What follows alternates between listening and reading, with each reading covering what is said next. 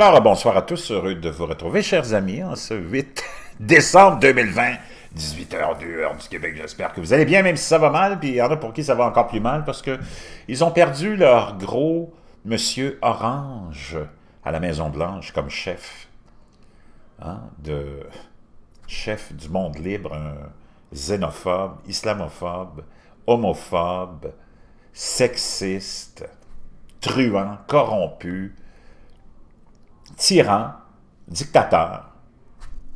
Wow! J'essaie de trouver d'autres qualités à Donald Trump, mais je pense que j'ai fait le tour. Imaginez-vous, comme je vous l'avais un peu décrit dans la petite publication précédente, qui ne fait pas votre affaire, mais dans la vie, il n'y a pas juste ce qui fait notre affaire qui est important d'écouter, c'est ce qui ne fait pas notre affaire. Puis tu auras beau crier, crier, il y a une fraude, il y a une fraude. Il faut que tu aies des preuves. Tu aurais beau crier quoi que ce soit, Donald Trump a été une, inutilité incroyable pour l'humanité. Et c'est pas parce que tu voudrais une chose que ça en fait une réalité. C'est pas parce que là, on est le 8 décembre 2020, 18h04 heure du Québec, j'aimerais qu'on soit vraiment au mois de juillet, qu'on serait tellement bien que ça peut se produire. On est en plein euh, début du mois de décembre. Puis il n'y a rien que je puisse faire. Ça, c'est les faits puis la réalité. Je peux délirer et dire à mes chums, « Hey, on est en plein mois de juillet! Mais je vais passer pour un, et eh oui, illuminé. Et c'est exactement ce que les, euh, les Américains, le président en tête, mais surtout, plus étonnamment, des gens comme des Québécois, des Français, sont en train de prétendre puis de partager l'idée qu'il y a eu une fraude aux États-Unis et que Donald Trump va vraiment être élu. Puis c'est lui qui va... Vous allez voir, tu vas voir, le, 20 juin, le 20 janvier, c'est lui qui va être le président, puis on va, va l'avoir pour un autre quatre ans. C'est parce que tu vis dans quel univers? J'essaie de... J'essaie d'expliquer ça rationnellement, puis je vois les pouces en l'air. Ça veut dire qu'on a affaire à beaucoup, beaucoup de gens qui ont qui n'ont pas de jugement qui n'ont pas de rationalité, qui sont absorbés par les fake news. Facebook est le champion des fake news.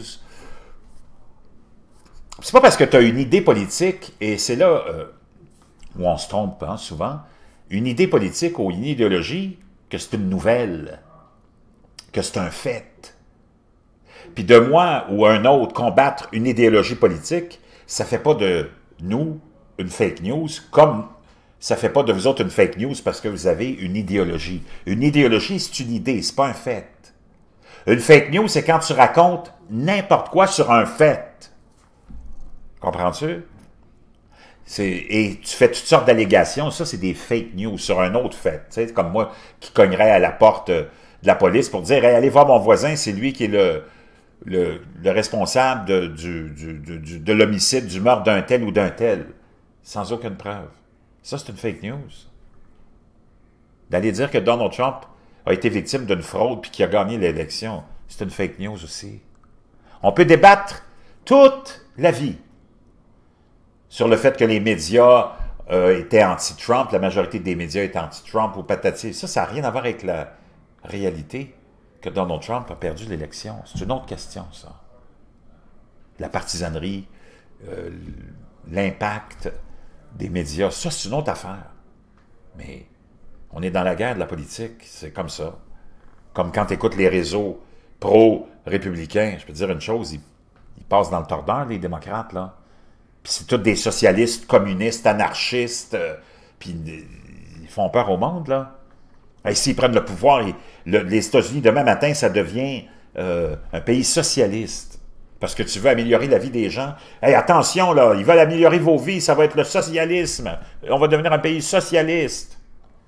Euh, c'est parce que on a meilleure qualité de vie au Canada, puis même en France, puis on n'est pas des pays socialistes, communistes. Donc, si tu écoutes les deux côtés de la médaille, c'est de la propagande. Ça, c'est pas des faits. Ça, c'est de la propagande puis de l'idéologie qu'on essaye de vendre à des électeurs. Le fait de dire que les arrestations s'en viennent, ça c'est une fake news.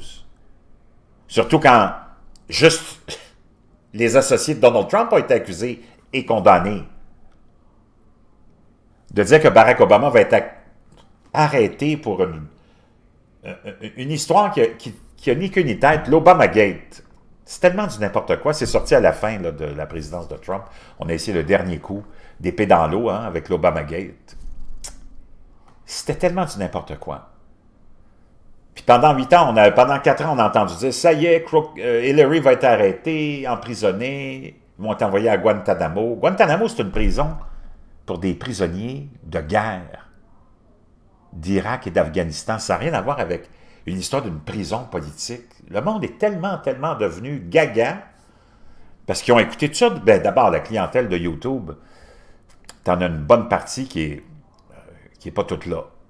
Puis qui fait juste ça, chercher des conspirations, puis des conspirations, puis des conspirations, parce que ça les excite. J'imagine que la réalité, ça les démoralise. Donc, ils vivent dans le délire que, oh mon Dieu, Vladimir Poutine, ça, c'est le sauveur de l'humanité. Tu sais, un tyran, un gars qui a été 40 ans dans le KGB, a éliminé ses ennemis politiques, c'est ce qu'il a fait aussi en tant que président à chaque élection qu'il a volé, d'ailleurs. Ça, c'est du vrai vol. Ça, c'est des vrais faits. Donc, tu as ce monde-là qui navigue sur YouTube puis qui pense que, tu sais, qui vivent dans un... Ou à moins que ce soit juste des jokes puis qu'ils s'amusent, ce monde-là. Ça se peut que vous ne soyez pas sérieux, que vous êtes juste là pour provoquer puis faire réagir le monde. Ça se peut aussi. Mais de penser que Vladimir Poutine... Imagine si Dieu... Si on prend comme un principe qui existe, chacun a sa foi, puis Dieu choisit des élus pour sauver l'humanité contre le mal. Wow! Ben, c'est parce que le mal, c'est Vladimir Poutine. Donc, tu vas choisir le mal pour combattre le mal. Peut-être c'est ça la médecine douce, hein, le principe de la médecine douce. tu vas choisir Donald Trump, l'être le plus ignoble, un déchet de l'humanité, une corruption sur deux pattes, pour s'associer avec une autre atrocité humanitaire, humaine, Vladimir Poutine, pour combattre le mal et la cabale de cannibales mangeurs d'enfants qui nous gouvernent. Alors que j'attends encore les alertes en là, parce que s'il y a une cabale de cannibales mangeurs d'enfants, puis on l'air nombreux, puis ils doivent manger, ce monde-là, ça doit manger en masse, puis en masse, trois repas par jour. Il me semble que je devrais avoir plein d'alertes en moi, ici au Québec, d'enlèvement d'enfants qui disparaissent, qui sont enlevés par la cabale de cannibales mangeurs d'enfants que Donald Trump et Vladimir Poutine sont en train de combattre quelque part dans l'univers euh, spatial, spécial. Tu sais, c'est parce qu'à un moment donné, là, moi je ne sais pas, mais autour d'une table avec ta famille, je ne sais pas de quoi tu as l'air, mais j'imagine que tu n'as pas de gêne ou tu fais juste ça sur YouTube peut-être aussi. C'est un jeu, c'est une game que tu te donnes. D'abord, vous avez tous des pseudonymes, il n'y en a pas un qui est capable de donner son nom, toutes des faces cachées. Ça doit être juste un jeu. Vous êtes plus intelligent que ça, puis c'est parce que vous, voulez vous amuser, c'est devenu comme une espèce de, jeu social. Ça se peut. Hein, ça se peut. Un nouveau jeu de société. Mais à un moment donné, il faut que tu reviennes sur Terre. Là, ce que je vous disais tout à l'heure dans la vidéo un petit peu plus longue, que là, celle-là, je vais vous la terminer rapidement, la Cour suprême. La Cour suprême. Toutes les, les 10 heures de bonne aventure qu'on entend euh, de toutes sortes de... Franchement, euh, de toutes sortes d'horizons, je ne veux pas les nommer. Ah, ça y est, il y a des, enveloppes au filigrane avec des nanoparticules. Donald Trump a piégé les démocrates, parce que là, on est rendu le 8 décembre. Lundi, c'est le collège électoral qui se réunit. Puis tu as du monde qui ont affirmé ça. Je ne voudrais pas le nommer, mais je vais le nommer Alexis Cossette-Trudel. Ça y est, Donald Trump a piégé les démocrates de son sous-sol à Montréal. Are you kidding me, man? Tu sais, si au moins tu prenais une source sérieuse, mais tu, m'amènes des Alexis Cossette-Trudel qui est dans son sous-sol à Montréal, qui ne sort pas de chez eux, qui vient affirmer à ses disciples, à ses ouailles, faites-vous-en pas, Donald Trump qui a piégé les démocrates avec des enveloppes aux nanoparticules puis des, bulletin de vote au filigrane, euh, patati puis patata, c'est parce que ils les ont jamais présentés devant la Cour, toutes ces évidences-là. S'ils les avaient, je vais dire une chose, fait longtemps qu'ils auraient sorti. Comprends-tu qu'à un moment donné, il faut que tu faut que aies l'air. Si tu n'es pas intelligent, faut que tu aies au moins l'air intelligent. Comprends-tu? Parce qu'il y a des limites à raconter n'importe quoi. Mais ce monde-là, ils n'ont pas de limites.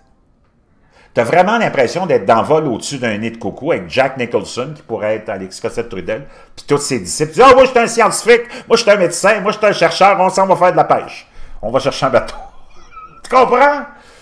C'est parce qu'à un moment donné, si tu as besoin de médicaments, prends-en, mon chum. Prends-en. Parce que là, tu vis dans quel univers, sur quelle planète? Hey, moi, j'ai du monde qui m'envoie des liens.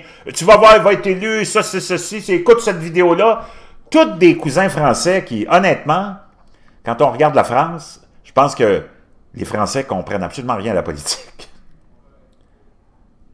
Ils sont même pas capables de comprendre la République française, ils vont essayer de comprendre ce qui se passe en anglais en plus. The, the, the, the, the président, the, the, the.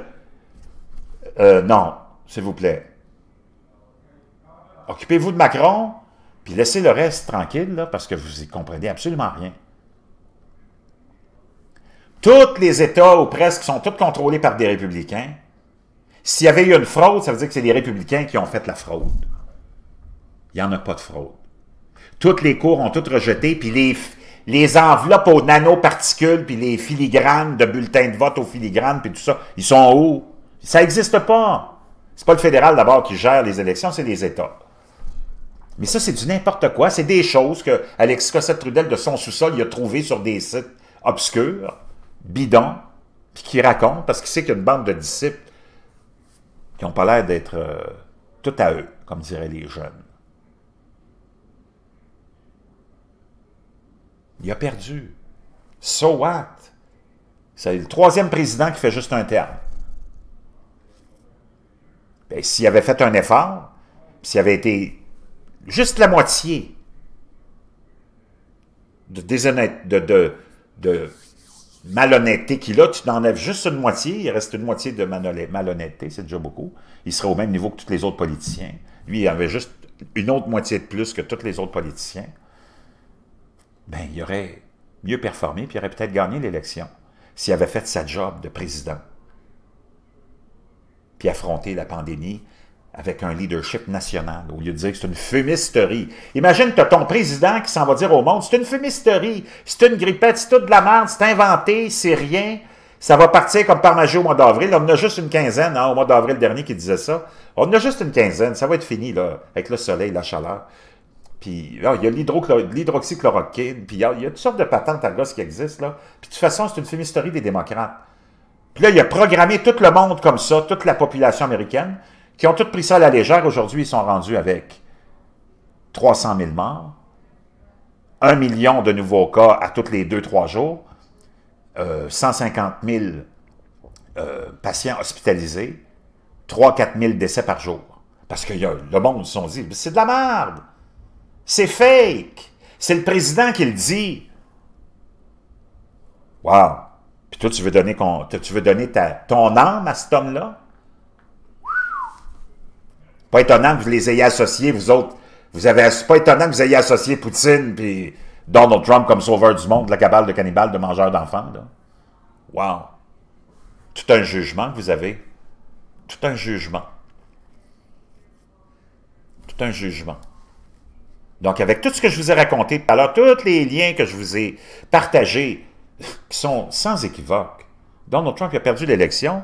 Là, tu as la Cour suprême, puis je vous l'ai dit, depuis des semaines, hein, depuis, euh, ça fait depuis le 4 décembre qu'on est le lendemain de la veille, puis là, tout le monde m'a dit, tu vas voir la Cour suprême, la Cour, la Cour suprême, je vous avais dit, si vous êtes assez honnête pour vous en rappeler, puis vous avez juste allé dans ma vidéographie, là, je vous ai dit, la Cour suprême va même pas, elle va même pas oser prendre une cause de, Donald Trump sur la, la, fraude de l'élection.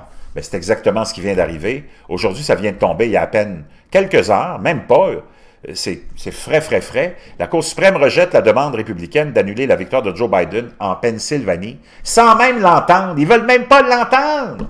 Puis là, tu as l'autre, le Texas, qui vient d'en lancer une. C'est plus un « Je vous salue, Marie » qu'on vient de lancer pour essayer d'annuler la défaite de, de Donald Trump dans quelques États clés. La Cour suprême a rejeté mardi la dernière tentative des républicains d'annuler, puis là on parle de la Cour suprême fédérale des États-Unis, là, pas la Cour suprême de l'État, la Cour suprême des États-Unis a rejeté aujourd'hui, il y a quelques minutes, la dernière tentative des républicains d'annuler la certification euh, par la Pennsylvanie de la victoire du président élu Joe Biden sur le champ de bataille électoral. Le tribunal, sans commentaire, a refusé de remettre en question le processus de certification en Pennsylvanie avec un, vote de 9 contre 0, parce qu'il y a 9 juges à la Cour suprême.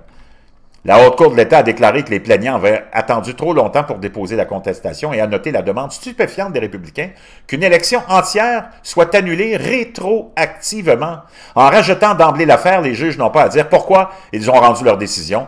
Aucun n'a noté de dissidence suggérant qu'il s'agissait d'une décision unanime de la Cour suprême. Il a perdu. Votant chez vous, honorablement, essaye d'avoir un comportement honorable jusqu'à la fin, au moins tu pourras sauver une partie de l'héritage de ta présidence, mais là, il est en train d'envoyer tout, tout, tout au feu. Vraiment, mais peut-être qu'en échange de 500 millions de dollars, ça vaut la peine, là. Parce que lui est en train de faire tellement d'argent avec ça, il pompe son monde. Il y a des menaces de mort qui sont envoyées partout. D'ailleurs, Chris Krabs, celui qui avait été nommé par Trump et qui a dit que c'était l'élection la plus sécuritaire, avait été menacé de mort par Joe DiGenova sur, euh, je pense que c'est Max News. Ben là, lui, il s'en va poursuivre euh, Joe DiGenova devant les tribunaux. Il y a plein de républicains qui ont reconnu la victoire de Biden, qui ont reçu des menaces de mort. Et ça va, c'est pas normal, ça, là. Coudon. On va se retrouver dans des, des situations d'anarchie totale à chaque fois que quelqu'un va perdre ses élections. C'est la nouvelle mode lancée par Donald Trump. C'est vraiment pathétique. Pensez-y deux fois avant de publier des choses, puis de commenter, puis de passer des... Réfléchissez à vos actes. La liberté d'expression, ça ne veut pas dire que tu peux faire n'importe quoi comme ça. Là. Parce que de faire n'importe quoi, si tu laisses la liberté d'expression s'en aller vers du n'importe quoi comme ça, ben, tu te retrouves dans des États totalitaires après parce que, regarde ce qui est à la tête de tout ça. OK? La Cour suprême rejette, sans même l'entendre, qu'est-ce que je vous avais dit. Arrête d'écouter n'importe qui. Reste ici, arrête de te désabonner parce que ça ne te plaît pas. Parce que c'est pas là l'information pour te plaire. L'information, c'est là pour t'informer, que ça te plaise ou non.